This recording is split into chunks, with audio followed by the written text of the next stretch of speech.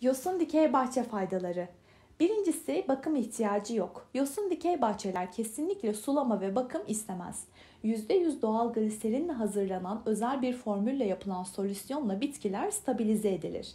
Böylelikle sulama veya ışık ihtiyacı olmadan canlılığını uzun süre korur. Eğer bir hasar meydana gelirse yosun dikey bahçe bir telefon kadar uzağınızda.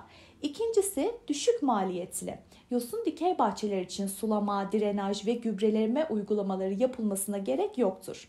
Hızlı ve kolay kurulumu, taşınabilir olması ve bakım ihtiyacının olmaması sebebiyle bütçe dostudur.